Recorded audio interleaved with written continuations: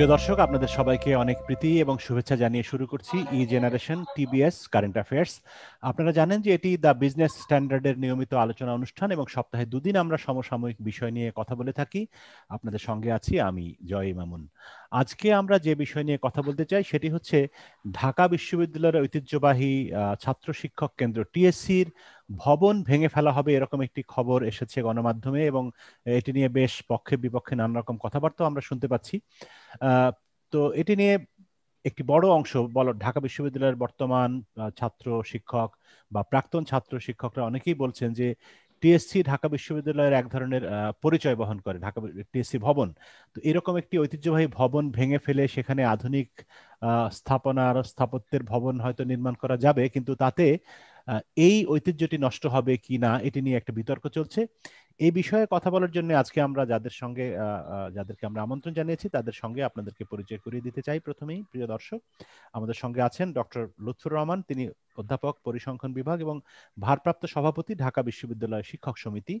আছেন মুস্তাফা খালিদ পলাশ, তিনি স্থপতি এবং চিত্রশিল্পী, সংগীত শিল্পীও বটে। সাংবাদিকও বটে আমাদের বন্ধু বড় ভাই। আছেন ডক্টর আক্তার মাহমুদ, তিনি অধ্যাপক, নগর ও অঞ্চল পরিকল্পনা বিভাগ, জাহাঙ্গীরনগর বিশ্ববিদ্যালয় এবং পথিক নবী, কণ্ঠশিল্পী খুব জনপ্রিয় কণ্ঠশিল্পী এবং যে কারণে পথিক নবীকে আমন্ত্রণ জানানো, সেটি হচ্ছে যে আমরা যারা নব্বই এর দশকে বা ওই সময় ঢাকা বিশ্ববিদ্যালয়ের ছাত্র ছিলাম বা আশেপাশে ঘোরাঘুরি করেছি, তখন আমরা দেখেছি পথিক নবী সঞ্জীব চৌধুরী, এরা মাতিয়ে রাখতেন টিএসসি গান গেয়ে। তো পলাশ ভাইও হয়তো ভালো বলতে পারবেন এইসব বিষয়ে।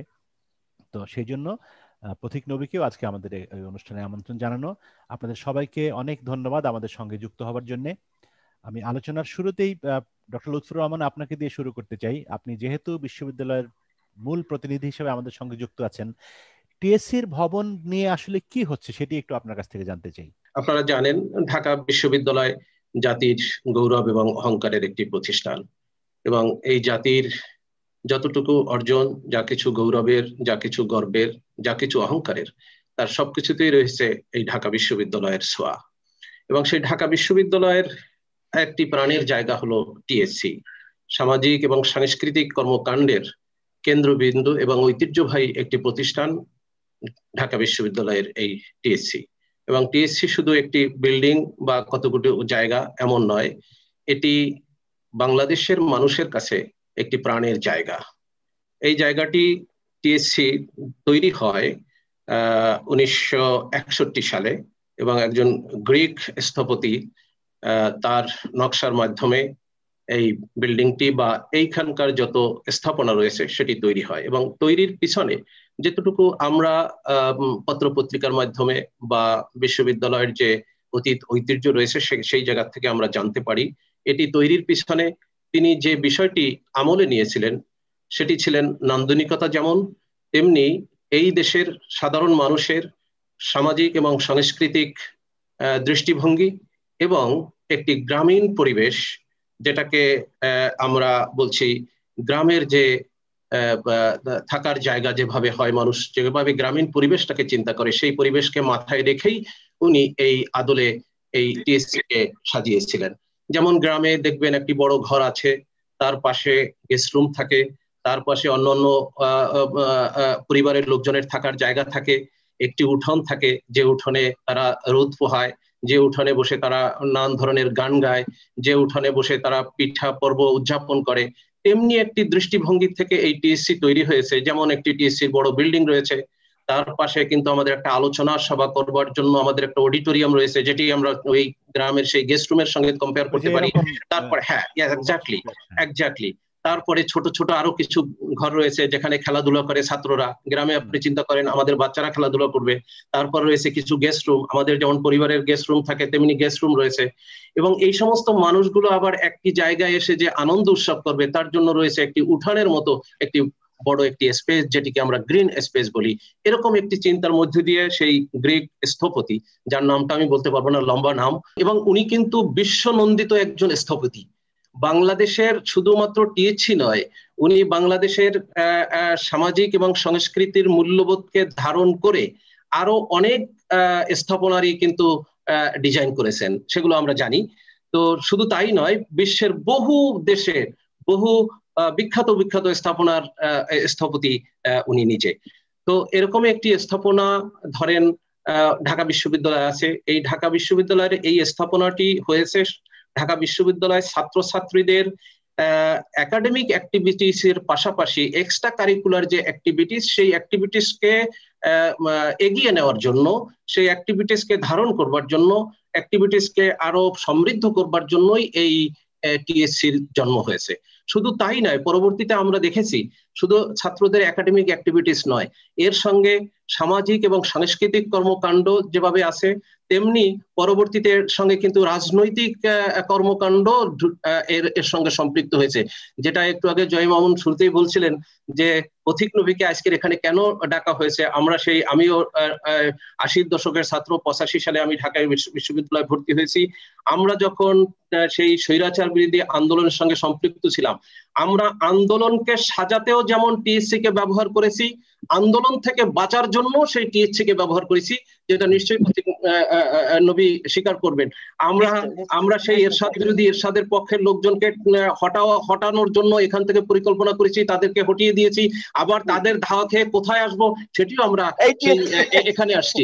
এবং বাইরে বেরোনোর কোনো সুযোগ আমাদের নাই আমরা এখানে বসে এই পথিক নবী কিংবা আরও যারা বিখ্যাত বিখ্যাত গান গাইতেন তাদেরকে আমরা তাদের গান শুনেছি তাদের পথন নাটক দেখেছি তাদের খাবার তৈরি করা আমরা খেয়েছি। কারণ এই খাবার তৈরি করে এই খাবার খেয়ে আবার বিকালবেলা আমাদের কর্মসূচি রয়েছে, সেই কর্মসূচিতে অংশগ্রহণ করেছি। এনিওয়ে এটি একটি পুরানো স্থাপনা। নিশ্চয়ই ঢাকা বিশ্ববিদ্যালয় এই এই স্থাপনাটা নিয়ে গর্ব করে। কিন্তু স্থাপনাটা তো আসলেই পুরানো। এটাই সংস্কারের প্রয়োজন হয়তো আছে।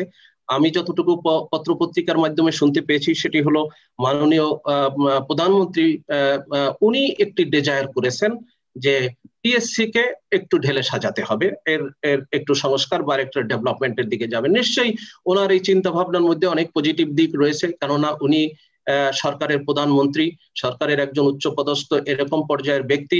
ঢাকা বিশ্ববিদ্যালয়কে নান্দনিক করবার জন্য, ঢাকা বিশ্ববিদ্যালয়ের কে এগিয়ে নেওয়ার জন্য কোনো একটি স্থাপনাকে উনি ঢেলে সাজাতেই পারেন, সেই চিন্তা উনি করতেই পারেন। উনি কিন্তু ঢাকা বিশ্ববিদ্যালয়ের অ্যালামনি উনি কিন্তু ঢাকা বিশ্ববিদ্যালয়ের ছাত্রী। সেই দৃষ্টিকোণ থেকে আমি মনে করি ওনার একটা বাড়তি চাওয়া তো থাকতেই পারে।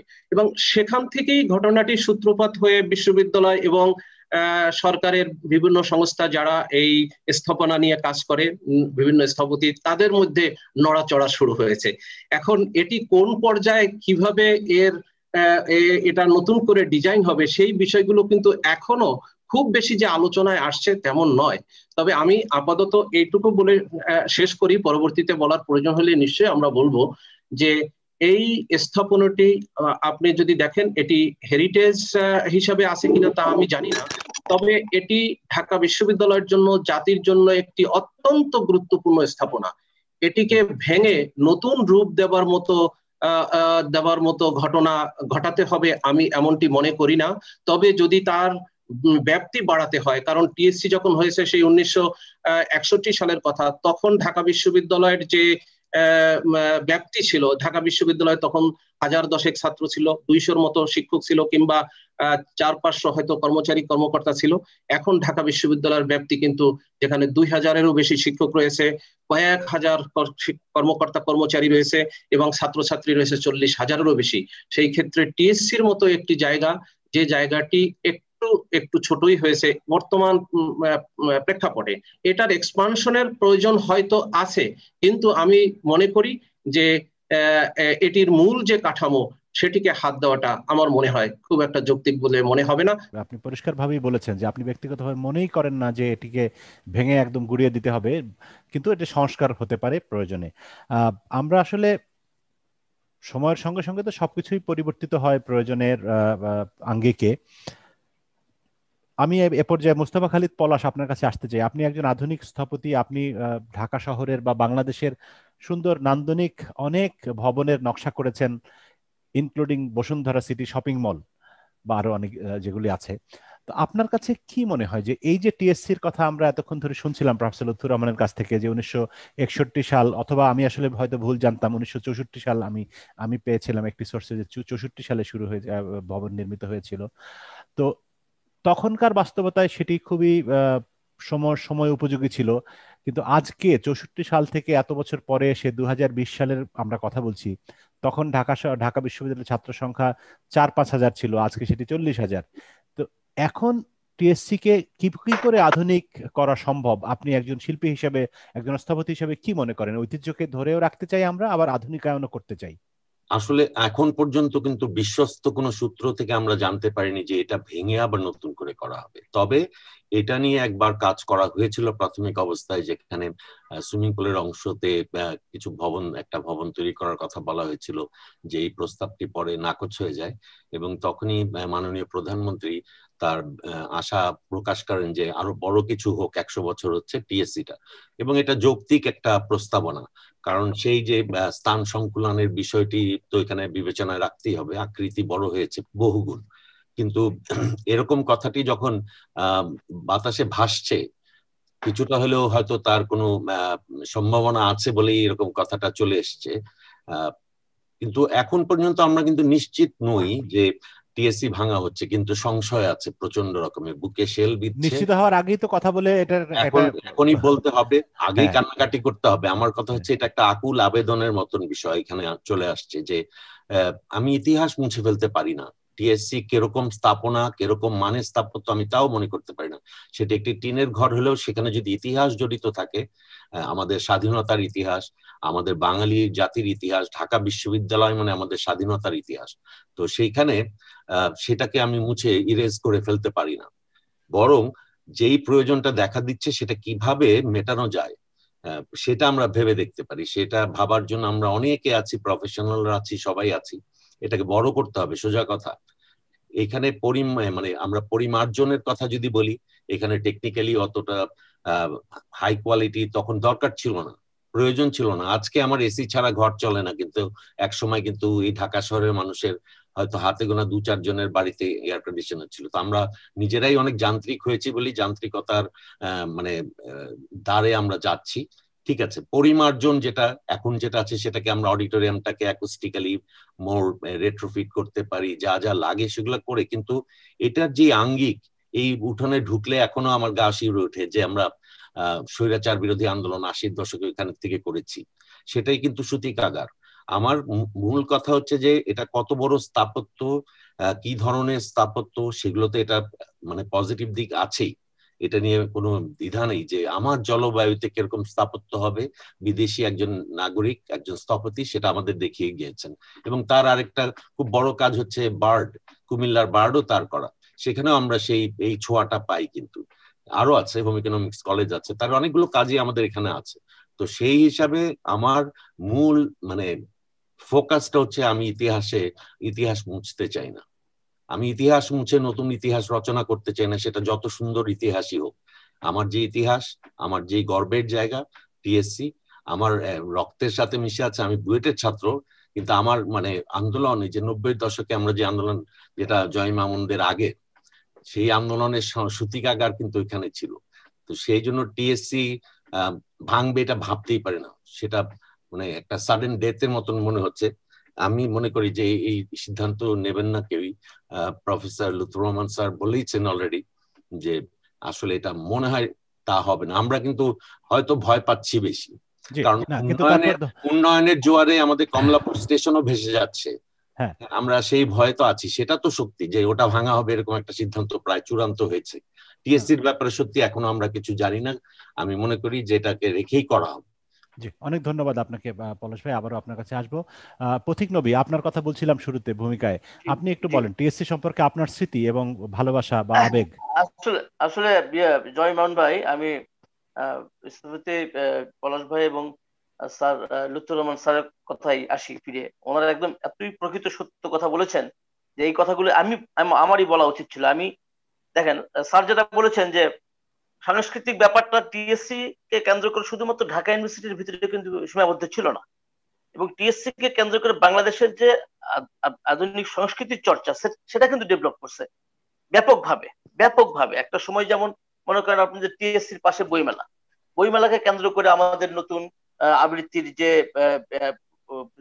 একটা অডিও মানে বাজার তৈরি হয়েছিল বা গান, নতুন নতুন গান আসতো, একটা ব্যাপার ছিল। এটা কিন্তু একটা একটা স্বতঃস্ফূর্ত ভাবে কিন্তু সাধারণ মানুষের অংশগ্রহণে কিন্তু ব্যাপারটা ব্যাপারটা বহিঃপ্রকাশ ঘটত।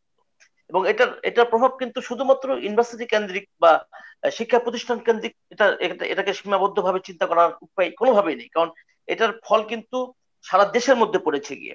এবং সারা দেশের মধ্যে পড়ার পরিপ্রেক্ষিতে কিন্তু টিএসসির এই মানে এক এক এক চেয়ারের ভিতর দিয়ে, একের ভিতর বহু বিষয়। সংস্কৃতি যেমন ছিল, ঠিক একইভাবে রাজনীতিকেও, রাজনৈতিক প্রেক্ষাপট বিভিন্ন ধরনের আপনার মানে সংঘাত, সংঘর্ষের সময়ের একটা আশ্রয়স্থল।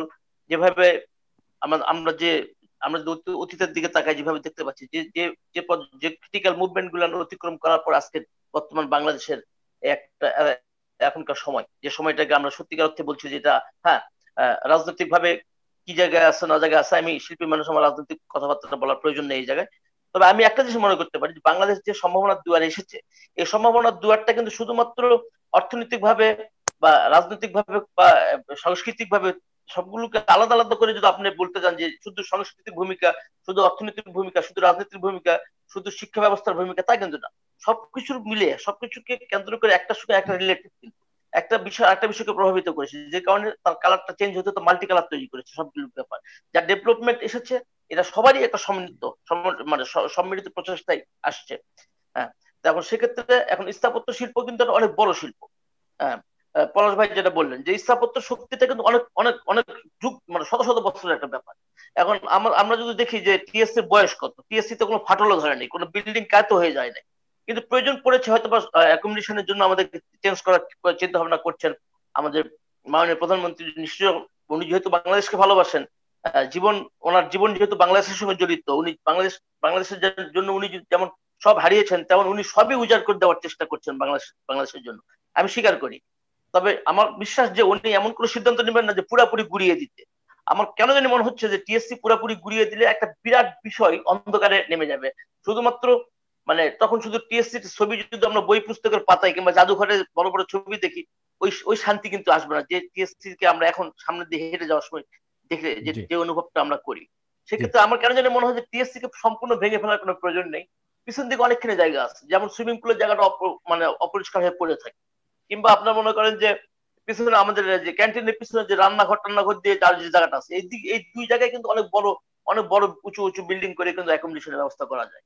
সামনের যে সামনের যে সুন্দর ব্যাপারটা এটাকে অক্ষত রেখে কিন্তু করা সম্ভব। এটা আমি আমার ক্ষুদ্র ক্ষুদ্র জ্ঞানে বললাম ধন্যবাদ ধন্যবাদ ধন্যবাদ প্রতীক নবী আমরা আবার আপনার কাছে আসব। আমাদের সঙ্গে এই যে কীভাবে কি করা যায় সেটার জন্যই আসলে আমরা প্রফেসর আখতার মাহমুদকে আমন্ত্রণ জানিয়েছি আজকের আলোচনায়। তিনি আচ্ছা। তিনি অধ্যাপনা করেন এই বিষয়ে ছেলে মেয়েদেরকে শিখান যে কি করে নিশ্চয়ই আপনি প্রফেসর আক্তার আপনি বলবেন যে আমরা আমাদের ঐতিহ্যকে ধরে রাখতে চাই, আবার আধুনিকও হতে চাই, পরিসরও বাড়াতে চাই। তো আপনার কাছে কি মনে হয়? আপনার অভিজ্ঞতার আলোকে, আপনার শিক্ষা বা আপনার আবেগ সবকিছু মিলিয়ে আপনার কাছে জানতে চাই আসলে যে আপনি কি মনে করেন? টিএসসি কে কীভাবে আধুনিকায়ন করা সম্ভব? আমি আরেকটু বৃহত্তর পরিসরে একটু কথা বলতে চাই। খুবই অল্প দুই একটি কথা বলতে চাই। ডক্সিয়াডিস মূলত এরিয়া প্ল্যান যদিও করেছেন আমাদের এখানে টিএসসি তিনি একই সাথে আর্কিটেক্ট, একই সাথে টাউন প্ল্যানার। তিনি ইসলামাবাদের মাস্টার প্ল্যান তৈরি করেছেন। তিনি ব্রাজিলের রিও ডিয়ে জেনেরিওর মাস্টার প্ল্যান উনি ওনার হাতে হয়েছে। এবং বিশ্বের অনেক বিখ্যাত কিছু স্থাপনা উনি তৈরি করেছেন। এখন স্থাপনাগুলো কেন কেন এত বেশি বিখ্যাত হয়? প্রত্যেকটা শহরে নানা কারণে বিভিন্ন রকমের স্থাপনা থাকে এবং ধীরে ধীরে সময়ের সাথে সাথে ওই স্থাপনাগুলোর গুরুত্ব এবং ওই স্থাপনাগুলো এমনভাবে ওই শহরকে রিপ্রেজেন্ট করতে শুরু করে। একটা সময় এগুলোকে ল্যান্ডমার্ক হয়ে যায়। আপনারা শুনে থাকবেন যে কেভিন লিঞ্চ বিখ্যাত একজন আরবান প্ল্যানার আছেন। যিনি তার বইয়ে বলেছিলেন যে প্রত্যেকটা শহরের এরকম কিছু ল্যান্ডমার্ক থাকে।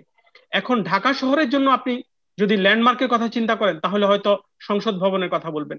কিন্তু এটা যদি স্মলার স্কেলে ঢাকা ইউনিভার্সিটির কথা বলেন, সেখানে এরকম ল্যান্ডমার্ক কিন্তু আরও প্রচুর আছে। ঐতিহাসিক গুরুত্ব আছে, সাংস্কৃতিক গুরুত্ব আছে। পলিটিক্যাল গুরুত্ব রাজনৈতিক ভাবে গুরুত্বপূর্ণ এরকম প্রচুর স্থাপনা ঢাকা ঢাকা ইউনিভার্সিটির বিভিন্ন জায়গায় আছে। সুতরাং এগুলো প্রত্যেকটা স্থাপনা এগুলো এক একটা সময়কে ধরে রাখে এক একটা ইতিহাসকে ধরে রাখে এবং মানুষের আবেগ, অনুভূতি এই জিনিসগুলোকে সংরক্ষণ করে। আজকে ঢাকা ইউনিভার্সিটির দিকে সারা বাংলাদেশ কিন্তু তাকিয়ে থাকে। সারা ঢাকা সহ ঢাকা ইউনিভার্সিটি শুধুমাত্র ঢাকা শহর, ঢাকা ইউনিভার্সিটির ছাত্র শিক্ষকদের বিষয় না এটা সারা বাংলাদেশের বিষয়, সারা বাংলাদেশের মানুষের আবেগ অনুভূতি এর সাথে যুক্ত থাকে। এখন আজকে যে টিএসসির কথাটা হচ্ছে, এই টিএসসিও ঢাকা ইউনিভার্সিটির জন্য অত্যন্ত একটি গুরুত্বপূর্ণ একটি স্থাপনা। এখন আধুনিক মানে এখন বর্তমান সময়ে এসে যেটা হয়েছে, ডিপার্টমেন্টের সংখ্যা বেড়েছে ছাত্র সংখ্যা বেড়েছে, শিক্ষকের সংখ্যা বেড়েছে এবং সাথে সাথে অন্যান্য ব্যবহারেরও পরিবর্তন হয়েছে। আগে যে ধরনের ব্যবহার হতো সেখানে, সেই জায়গায় আজকে নতুন তথ্য প্রযুক্তি এসছে, প্রযুক্তির ব্যবহার এসছে। মানে আমি একটু আগে শুনলাম যে পলাশ ভাই যেভাবে বলছিলেন, তাতে করে তিনি এই আধুনিকায়নের কথাটি বলছেন এবং আমাদের প্রফেসর লুৎফুর রহমান স্যারও একই কথা বললেন। এখন বিষয়টা হচ্ছে যে, একদিকে যেমন ঐতিহাসিক মূল্য, সামাজিক মূল্য পলিটিক্যাল মূল্য আছে এইসব স্থাপনার, অন্যদিকে ডিমান্ডের ব্যাপারটা আসছে, চাহিদার ব্যাপারটা আছে। এই জায়গাটা হচ্ছে একটা রিকনসিলিয়েশনের ব্যাপার। এখন অনেক আর্কিটেক্ট আছেন যারা এই কনজারভেশনের সাথে কাজ করেন আর্কিওলজিস্ট আছে কনজারভেশনের সাথে কাজ কাজ করেন, অন্যান্য প্রফেশনালরাও কাজ করেন। একদিকে যেমন এটার স্থাপনাটির গুরুত্বটাকে বজায় রেখে এটার বৈশিষ্ট্যগুলোকে বজায় রাখা, অন্যদিকে এই নতুন ডিমান্ডকে এখানে আনা। তাহলে প্রোটেকশন এখানে যেমন কনজারভেশনের প্রয়োজন আসছে, আবার সেদিক থেকে ব্যবহার উপযোগী করে গড়ে তোলার ব্যাপার আছে। এই দুটো জিনিসকে একসাথে করে করা। এখন ওই বৈশিষ্ট্যগুলোকে ধরে রাখা প্লাস এটার সুযোগ সুবিধাগুলো বাড়ানো। এই কাজটি কিন্তু প্রতিষ্ঠিত কাজ। আপনি পৃথিবীতে প্রচুর এরকম বিখ্যাত পুরনো শহর আছে, যাদের বার্ষিক বাজেটের একটা বিরাট অংশ এই কনজারভেশন মেইনটেনেন্স এইসব নানা বিষয়ে বরাদ্দ থাকে।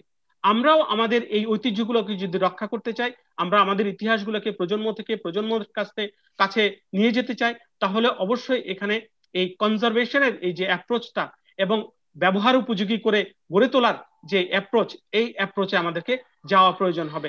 তাহলে আমরা আমাদের একদিকে যেমন পুরানো স্থাপনাগুলোকে ধরে রাখতে পারব, তেমনি আমরা নতুন যে চাহিদা, সেই চাহিদাগুলোর সাথে নিজেদেরকে খাপ খেয়ে নিতে পারব। শুধু তো স্থাপনা না, আমি দু হাজার তিন সালের একটা একটা ঘটনা বলতে পারি। স্টকহোম সিটির ছোট্ট একটা আইল্যান্ড নাম হচ্ছে ডিওর গার্ডেন। এখানে তাদের একটা গাছ, পুরনো একটা গাছ, ভেঙে পড়ছে প্রায়, মৃত প্রায় একটা গাছ। সেই গাছটার ভিতর দিয়ে কনক্রিট এবং লোহা দিয়ে এমন ভাবে ওই গাছটাকে ধরে রেখেছে। এটা বোঝানোর জন্য যে এই দ্বীপের জনবসতি প্রায় দুইশো আড়াইশো বছরের পুরনো। এই কথাটা টুরিস্টদের কাছে বলার জন্য তারা ওই গাছটাকে এভাবে কনজার্ভ করেছে। তা আমাদের যে গৌরবের যে সকল স্থাপনাগুলো আছে, আমরা এই স্থাপনাগুলোকে অবশ্যই আমাদের এখানে কনজারভেশনের অ্যাপ্রোচ আমাদের যেতে হবে। সাথে সাথে এটাকে কীভাবে ব্যবহার উপযোগী করা যায়। এরকম ইউরোপের প্রচুর পুরনো শহর আছে, যারা বিভিন্ন স্থাপনাকে এরকম কাজ করে ব্যবহার উপযোগী করেছে। তো আমরা সেরকম একটি অ্যাপ্রোচে আমার মনে হয় গেলে ভালো হয়। আবারও মোস্তফা খালিদ পলাশ আপনার কাছে আসতে চাই। প্রফেসর আক্তার যে কথাগুলো বলছিলেন তারই আলোকে এবং আপনি একটু আগে কমলাপুর স্টেশনের কথা বলছিলেন এখানে একটু ব্যক্তিগত স্মৃতিচারণ করতে চাই। একসময় আমি একবার আগরতলায় গিয়েছিলাম রিপোর্টিং এর কোনো একটা কাজে এবং তখন মানিক সরকার ছিলেন আগরতলার মুখ্যমন্ত্রী। তো ওনার ওনার বাড়িতে যাওয়ার ভিজিট করার সুযোগ হয়েছিল। তো উনি তখন বলেছিলেন যে, আমি একবার ঢাকায় গিয়েছিলাম। আপনাদের যে কমলাপুর স্টেশন, ওখানে লেখা আছে ঢাকা। ওটা দেখেই আমি মানে আমার স্মৃতির মধ্যে ঢাকা বলতে ওইটা সবার আগে আমার মাথায় আসে যে কমলাপুর স্টেশনের ডিজাইনটা খুব সুন্দর এবং সামনে লেখা ঢাকা। তো পাশের দেশের একটি রাজ্যের মুখ্যমন্ত্রী এরকম কথা বলছিলেন আমাদের কমলাপুর সম্পর্কে, আর আমরা এখন সেটিকে ভেঙে ফেলার চেষ্টা করছি বা পরিকল্পনা করছি। শুধু কমলাপুর স্টেশন না, ঢাকা শহরের, বিশেষ করে পুরনো ঢাকার খুব ভালো জানেন, আপনাদেরই বন্ধু তাইমুর ভাই আর্কিটেক্ট, তিনিও কাজ করেন এই সংরক্ষণ পুরনো ভবন ইত্যাদি সংরক্ষণ করার ব্যাপারে। কিন্তু বাস্তবে আমরা খুব একটা সফল পাচ্ছি না। প্রায়শই আমরা খবর পাচ্ছি বা আমরা খবর দিচ্ছি সাংবাদিক হিসেবে যে পুরনো ঢাকার অমুক ভবন ভেঙে ফেলা হচ্ছে, অমুক ভবন দখল করে মানে কি বলে, বিক্রি হয়ে গেল, সেখানে ডেভেলপারকে দেওয়া হলো, ডেভেলপাররা সেখানে আধুনিক ভবন তৈরি করছেন। তো এই বিষয়টাতে একটু আপনি কি মনে করেন যে কীভাবে আসলে আমাদের পুরনো ঐতিহ্য ধরে রাখা সম্ভব? আসলে তো বাজার অর্থনীতির চাপে সবকিছুই বিলীন হয়। পুরনো ঢাকার যেসব কথাগুলো বলছেন বেশিরভাগই ব্যক্তিগত পর্যায়ের বাড়িঘর। ওয়ারি সূত্রে হাত বদল হচ্ছে। কিন্তু অ্যাডাপটিভ রিউজ বলে একটা কথা আছে মানে কনজারভেশনে অ্যাডাপটিভ রিউজ হচ্ছে যে আপনি ওই পুরনো জিনিসটাকে এমন ভাবে আবার নতুন করে জাগিয়ে তুললেন যে সেটা কিন্তু আমরা বুগিস জাংশন ইতে সিঙ্গাপুরের মতন এত ছোট্ট একটা জায়গায় আমরা দেখতে পাচ্ছি যে বুগিস জাংশনটা কিন্তু সেরকম একটা পুরোনো জায়গাকে তারা কীভাবে কনভার্ট করে অ্যাডাপটিভ রিউজে গেছে। বা বিশ্বের বিভিন্ন দেশে তাহলে তো সভ্যতা কিছুই থাকবে না। আপনি যদি নবায়ন করতে থাকেন নবায়নের নামে আমার পুরনো জিনিসপত্র ফেলে দিয়ে আবার নতুন করে লাগাবো সেটা তো সভ্যতার যে ধারাবাহিকতা সেটা নষ্ট হয়। আমরা মনে করি আমরা আসলে এই ডটগুলো রাখতে চাই। We want to connect the dots এই ডটগুলো না রাখলে আমার যে প্রজন্ম সামনের প্রজন্ম কীভাবে বুঝবে যে এই টিএসসি তে আমার প্রধানমন্ত্রী এখানে এসেছিলেন?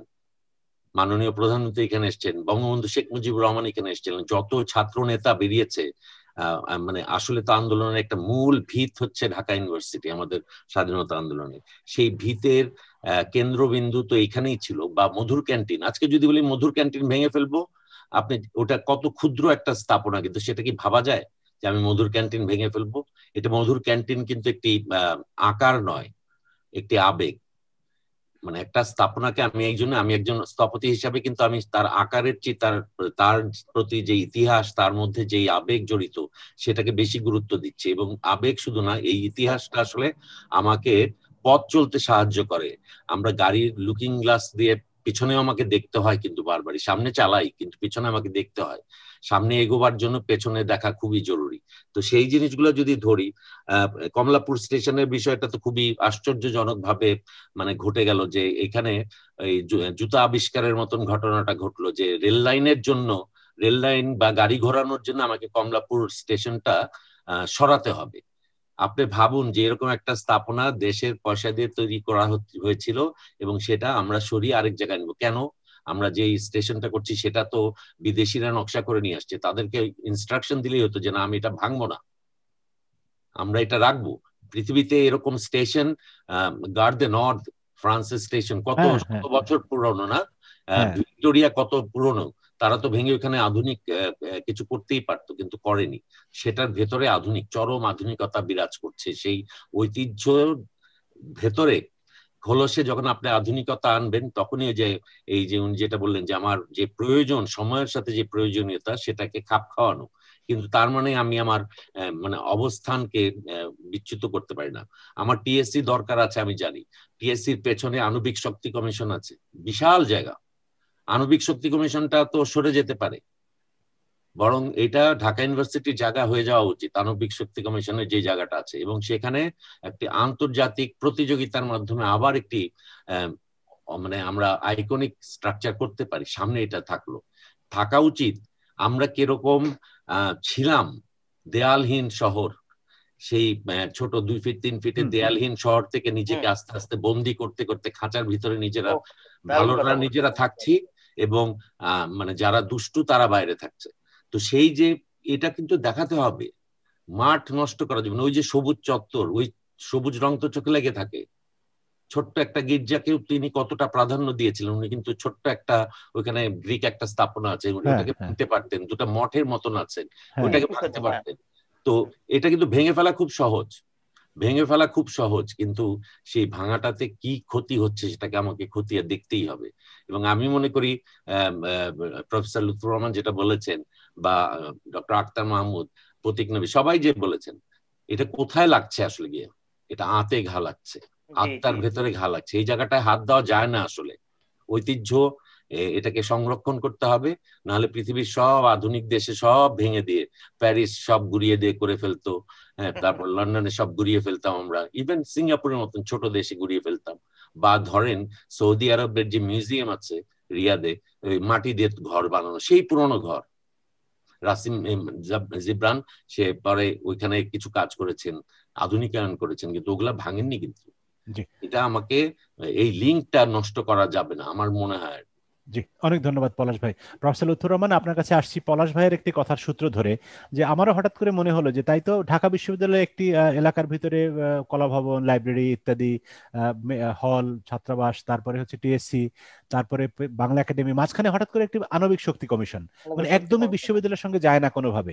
সরকার চাইলেই অথবা ঢাকা বিশ্ববিদ্যালয়ের শিক্ষকরা ছাত্ররা আপনারা চাইলেই তো এটি ওখান থেকে সরে যেতে পারে।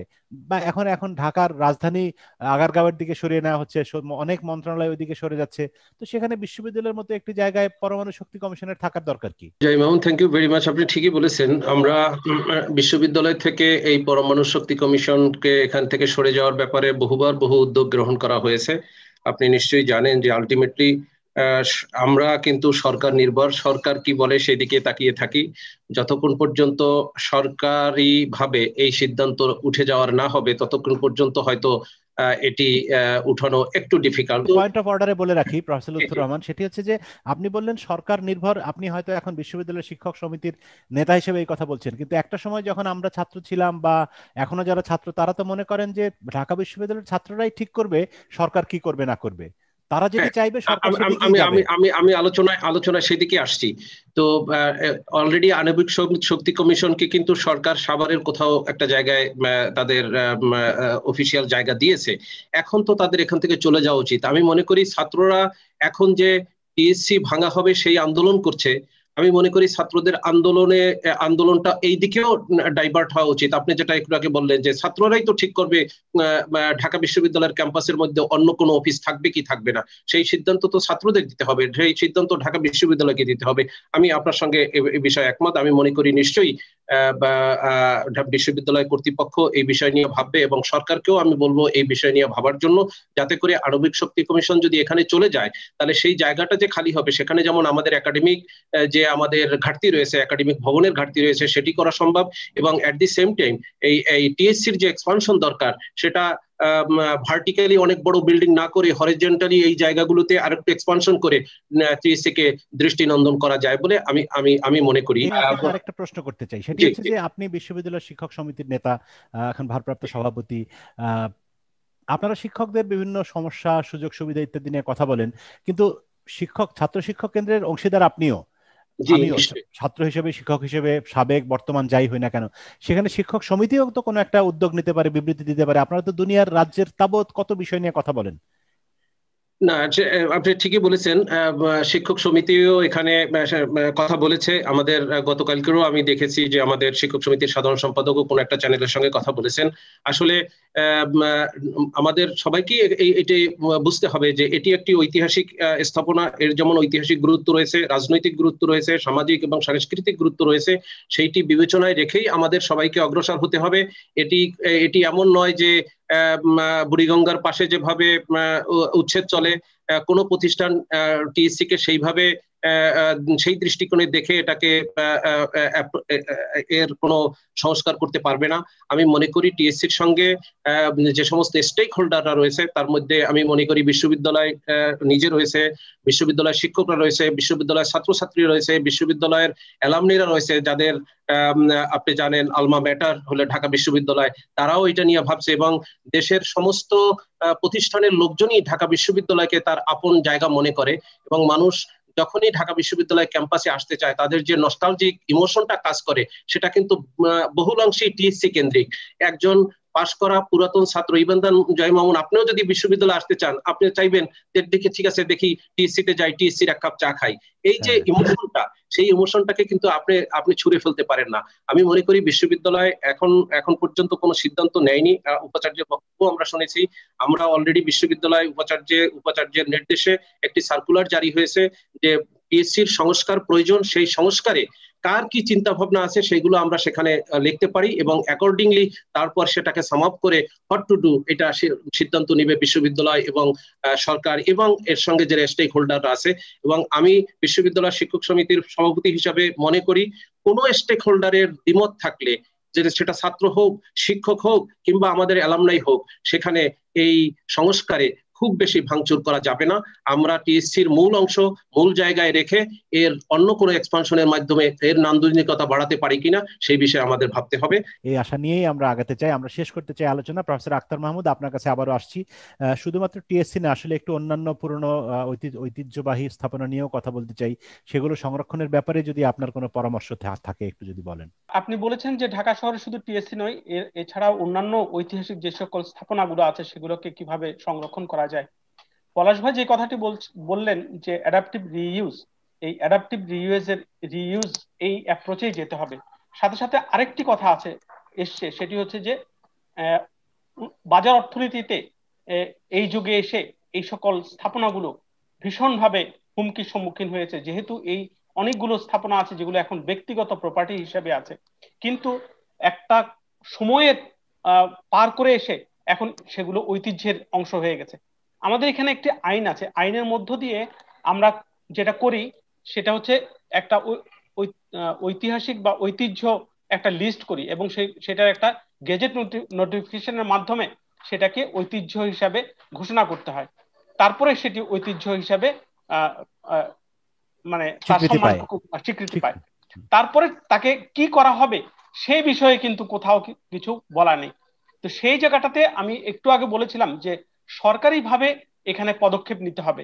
সেখানে এটাকে বাঁচানোর জন্য যে বাজেট অ্যালোকেশন সেই বাজেট অ্যালোকেশন যেমন প্রয়োজন হবে, তেমনি আরেকটা অ্যাপ্রোচ আছে, সেটি হচ্ছে যে মানে ট্রান্সফার অফ ডেভেলপমেন্ট রাইটস যারা সেখানে বসবাস করে, তাকে যখন আপনি প্রায় সমমূল্যের অন্য কোথাও তাকে পুনর্বাসন করার সুযোগ দেবেন, তখন সে ওই জায়গাটা রাখতে চাইবে, অথবা সেটা মানে সরকারের কাছে বা কাছে হস্তান্তরে রাজি হবে। হস্তান্তরে রাজি হবে। তো এরকম অ্যাপ্রোচ কিন্তু বিভিন্ন শহরে এটা করা হয়ে থাকে। এক্সপ্লোর করে দেখা যেতে পারে যে কোন পদ্ধতিতে অবলম্বন করলে এখানেও সেরকম ঐতিহ্যবাহী এই সকল স্থাপনাগুলোকে সংরক্ষণ করা যায়। শুধুমাত্র টিএসসি নয় বরং ঢাকা শহরের অন্যান্য স্থাপনাও যেগুলো ঐতিহ্যবাহী আছে সেগুলোকে এইভাবে সংরক্ষণ করা গেলে তার নানা রকমের প্রক্রিয়ার মধ্য দিয়ে গেলে আমার মনে হয় এগুলোকে আমরা সংরক্ষণ করতে পারব। পলাশ ভাই, আপনার কাছে একটু আমরা শেষ করব। শেষ করার আগে আপনার কাছে একটু ছোট করে জানতে চাই। সেটি হচ্ছে যে যে কথা আপনিও একটু আগে বলেছেন আক্তার ভাইও বললেন যে, অনেক প্রপার্টি আছে যেগুলো প্রাইভেট এখন বাংলাদেশের মতো রাষ্ট্রের পক্ষে এই প্রাইভেট প্রপার্টিগুলিকে সরকার নিজের দায়িত্বে টাকা দিয়ে নিয়ে নিল তারপরে ঐতিহ্য ঘোষণা করল এবং তারপরে সেটি সংরক্ষণ সেটি একটু ডিফিকাল্ট বা রিয়ালোকেশন বা রিলোকেশন যেটিকে বলি পুনর্বাসন করা যেটি আক্তার ভাই এখন বললেন সেটিও তো সবসময় সম্ভব হয় না। এক্ষেত্রে বিকল্প তৃতীয় কোনো সমাধান আছে কিনা? সমাধান তো প্রথমত আসলে লিস্টটা তৈরি করা যে এই লিস্টটা কে তৈরি করবে? এই লিস্ট থেকে অনেক সময় লিস্ট করার পরে লিস্ট থেকে আস্তে করে ওটা বাদও হয়ে যায়। অজানা কারণে। তো আপনি যদি ভালো করে ভাবেন আমি কয়েকটা স্থাপনার কথা রূপলাল হাউস। রূপলাল হাউস হ্যাঁ পুরান ঢাকার। কি অপূর্ব একটা স্থান হতে পারে এটাকে অ্যাডাপটিভ রিইউজে নিয়ে চলে গেলে। বা আপনি চট্টগ্রাম রেলওয়ের যে অফিসটা আছে ইন্ডিয়াতে তো এই চর্চা হচ্ছে ওরা কিন্তু হোটেলের পরে প্যালেসে গেছে। তো ওইটা পুরাটাই কিন্তু আমরা কাউকে লিজ দিতে পারি। কোনো হোটেল কে লিজ দিতে পারি যে convert it into a hotel না করে ওইটা দেখবেন একদিন ওইটাও ভাঙার কথা বলা হচ্ছে। ভাঙলে পরে গড়ার, ভাঙায় পয়সা, গড়ায় পয়সা, এই জায়গাটা বুঝতে হবে। আর প্রাইভেট যেগুলো আছে, খুবই ক্ষুদ্র আকৃতি সেগুলো রক্ষা করতে হবে। মসজিদ ভেঙে আবার মসজিদগুলো করা হচ্ছে। মসজিদ তো সবার প্রপার্টি এই পুরনো ঐতিহ্যবাহী মসজিদগুলো ওল ঢাকায় ভেঙে ফেলা হচ্ছে। তো সেই জিনিসগুলোকে ওই রিহ্যাবিলিটেশনের ইস্যুটা তো আছে। সরকার কিছু করবে, আবার সেটার থেকে যে অ্যাডাপটিভ রিউজের যে ইস্যুটা বলা হয়েছে, যে আপনি একটা, বলেন না, রূপলাল হাউসটাকে আপনি অপশনে দেন যে এটা কে কত হাইস্ট বিডে নিবে। দেখবেন সেখান থেকে পয়সা উঠছে উল্টা, সেখান থেকে রেভিনিউ জেনারেট হচ্ছে। তো সেটা পৃথিবীর সব দেশে হচ্ছে। আমাদের দেশে শুধু নয় মুম্বাইয়ের মতন দামি জায়গায় হচ্ছে হংকং এর মতন জায়গায় হচ্ছে যেখানে মানে গগনচুম্বী আকাশচুম্বী প্রপার্টি ভ্যালু নিউ ইয়র্কে তো এই ম্যানহাটনের পাশে ধান ক্ষেত আছে। কেন রাখা হয়েছে? রাখা হয়েছে রাখতে হবে। এই জিনিসগুলোকে ভুললে চলবে না। আর আমি এখনও আমার বারবার গা কাটা দিয়ে ওঠে যখন মনে হয় যে কবিতা উৎসব হবে না এই টিএসসি কেন্দ্র করে সেই কবিতা উৎসব সেই আন্দোলন কি হবে? ওই ওই ছবিটা পাবো না। হবে নিশ্চয়ই হবে আমাকে না ঢাকা ঢাকা ইউনিভার্সিটির কি জায়গা এতই সংকট পড়ল যে এই এই জায়গাতেই কামড় দিতে হবে? আমার কেন জানি বিশ্বাস হয় না যে এটাতে হাত পড়বে এটা এরকমই থাকবে যতদিন ও নিজের স্থায়িত্বে বেঁচে থাকে। আমরা শেষ করব প্রতীক নবী আপনাকে দিয়ে। আপনি আমি শুরুতে যেটি বলছিলাম যে একসময় আমরা টিএসসি তে আমিও ওখানে নরেন বিশ্বাস স্যারের ক্লাসে আবৃত্তি শিখতে যেতাম। তারপরে আমরা ভাই। হ্যাঁ আমি নরেন স্যারের ক্লাস করতে গেছি আমার তো এমনিতে একটু উচ্চারণের সমস্যা জন্মগত এবং স্যারের বকা নিশ্চয়ই খেয়েছেন আপনি আমরা সবাই লাস্টে বলল তুই আমার ছাত্র তোকে ফেল করলি কি বলে? তুই থার্ড ক্লাস তো যাই হোক তো সেই সব ঘটনা এবং এবং আমার মনে পড়ে আজকে খুবই সঞ্জীব দার কথা সঞ্জীব চৌধুরী আমাদের বড় ভাই টিভিতে টেস্টির গানের কথা মনে হলে আমার সঞ্জীব দা এবং প্রতীক নবী এই দুজনের কথা মনে হয়। দুদিন গত দুদিন আগেই সঞ্জীব চৌধুরীর জন্মদিন ছিল সেই উপলক্ষেও আমরা একটা এরকম আলোচনা অনুষ্ঠান করছিলাম। তো মানে এখন মনে হয় আর কি টিএসসির ওই সব ঘটনা বলি চা খাওয়ার থেকে শুরু করে পিছনে আড্ডা দেওয়া বা আবৃত্তির ক্লাস করা ভিতরে প্রজেক্টর দিয়ে খেলা দেখা বিশ্বকাপ ফুটবলের সময় বা কিছু একটা হ্যাঁ। বৃষ্টির মধ্যে নানা রকম স্মৃতি। তো প্রতীক নবী আপনি যদি একটু শেষ স্মৃতিচারণ করেন আপনার ওই সময়গুলি কেমন ছিল? আমি আর প্রশ্ন করব না আপনাকে দিয়ে শেষ করে দিব অনুষ্ঠান। এবং শেষ আপনি কথা বলা শেষ করে দুই দুই লাইন গান গিয়ে শোনালে আমরা খুবই আনন্দিত হব। আমি প্রতীক নবী গ্রাম থেকে আসা একটা ছেলে। আমি লেখাপড়াও আমি উচ্চশিক্ষিত না। আমি মাস্টার্স ট্রাই করেছি পাশ করতে পারি নাই। তবে ঢাকা ইউনিভার্সিটিতে আমি বহিরাগত বহিরাগত গায়ক হিসেবে আমার ঢাকা ইউনিভার্সিটি পড়েছিলাম ঢাকা ইউনিভার্সিটি অ্যাডমিশন টেস্ট দিয়েছিলাম, হয়নি। পরবর্তীতে চারুকলা চারুকলা ইনস্টিটিউটে অ্যাডমিশন টেস্ট দিয়েছিলাম, সেখানেও হয়নি। এনিওয়ে কিন্তু আমি ঢাকা ইউনিভার্সিটিকে ছাড়তে পারিনি। ঢাকা ইউনিভার্সিটিকে কেন্দ্র করে আমার ষোলো বছরের জীবনযাপন টানা একটা না। তার পরবর্তীতে আমি পথিকনবী আপনাদের আপনারা আমাকে পথিকনবী ডাকেন বা আমি শিল্পী। এটা আপনাদের আপনারা আপনাদের স্বীকৃতিতে আমি এটা হতে পেরেছি। এবং এই স্বীকৃতির প্রথম প্ল্যাটফর্মে ছিল টিএসসি এবং টিএসসি কেন্দ্রিক আড্ডা, আমার নাট্য চর্চা গানের দল করা মিউজিশিয়ানদের সঙ্গে পরিচিত হওয়া, কবিদের সঙ্গে পরিচিত হওয়া, এই যে ব্যাপারটা, এই এই পরিবেশটা আমাকে যে সমৃদ্ধি এনে দিয়েছে আমার জীবনে, এটা আমি আসলে ঢাকা ইউনিভার্সিটিতে পড়তে পারি নাই, কিন্তু ঢাকা ইউনিভার্সিটিতে অবস্থান করে আমি যেটা অর্জন করেছি, এটা আমার জীবনে অনেক বড় একটা পাওয়া। এবং এই পাওয়ারটা সম্ভবই হয়েছিল প্রথমত টিএসসির কারণে। টিএসসির যে এনভায়রনমেন্টটা সে সময় যেমন ছিল, আমি জানি না এখন আমার যাওয়া আসা খুব কম, তবে আশা করি অবশ্যই টিএসসি আড্ডা এবং সেই আড্ডাটা সেরকম পুষ্টিকর আড্ডাই থাকবে সবসময়। হম। সৃষ্টিশীলতার বিষয়ে। এনিওয়ে তো আমার নদীর জল ছিল না গানটি টিএসসির হ্যাঁ, বারান্দাতেই টিএসসির বারান্দাতেই সৃষ্টি করা। আমি এটি শোনাতে শোনাতে অনুষ্ঠান থেকে বিদায় নিতে চাই এবং সকলকে আমার শুভেচ্ছা অভিনন্দন ভালোবাসা যারা এই অনুষ্ঠানে দেখছে এবং আপনারা যারা এই অনুষ্ঠানের সঙ্গে নদীর জল ছিল না।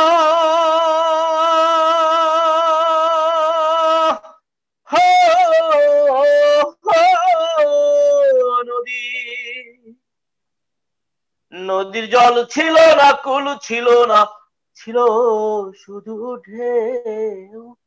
আমার একটা আমার একটা নদী ছিল, জানলো না তো কেউ।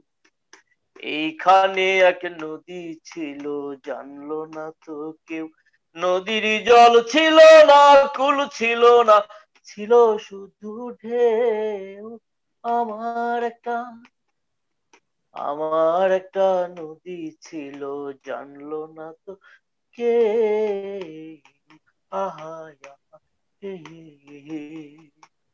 অনেক ধন্যবাদ পথিক নবী প্রফেসর লুৎফুর রহমান মুস্তফা খালিদ পলাশ এবং আক্তার হোসেন আক্তার মাহমুদ আমি দুঃখিত আপনাদের সবাইকে এবং প্রিয় দর্শক এতক্ষণ যারা আমাদের সঙ্গে ছিলেন আপনাদেরকেও ধন্যবাদ জানাতে চাই এবং আমরা আবারও আশা করতে চাই এখানে যারা কথা বলছিলেন সবারই একটাই আশা যে টিএসসি নিশ্চয়ই সম্প্রসারিত হবে নিশ্চয়ই আধুনিকায়ন হবে কিন্তু বর্তমান স্থাপনাকে ভেঙে নয় বর্তমান স্থাপনাকে নষ্ট করে নয়। এটিকে ধরে রেখেই আমরা এগিয়ে যাব। এই আশাবাদ ব্যক্ত করে সবাইকে শুভেচ্ছা জানিয়ে আজকের মতো বিদায় নিচ্ছি। সবাই ভালো থাকবেন।